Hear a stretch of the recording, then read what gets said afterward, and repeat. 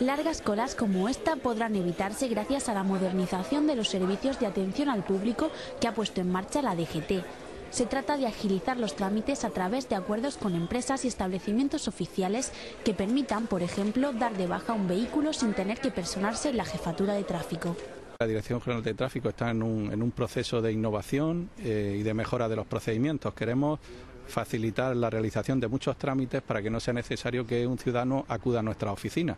Eh, por ejemplo, prorrogar un permiso de conducir se puede hacer desde un centro de reconocimiento, dar de baja un coche de, uno de los desguaces autorizados para ello, o incluso obtener un informe por matrícula se puede hacer desde la plataforma o página web de la Dirección General de Tráfico o comprar las tasas, que hasta hace poco, pues bueno, solo se podía hacer en nuestra dependencia. Estamos también preparándonos para poder realizar la prueba teórica para obtener el permiso de conducir por ordenador. Además, la DGT se lanza a la era Internet y para comienzos del próximo año quiere tener listo el servicio de cita previa por ordenador. Estas nuevas herramientas harán más cómodos los trámites en tráfico y reducirán las largas esperas, un hecho que beneficiará tanto a ciudadanos como a trabajadores.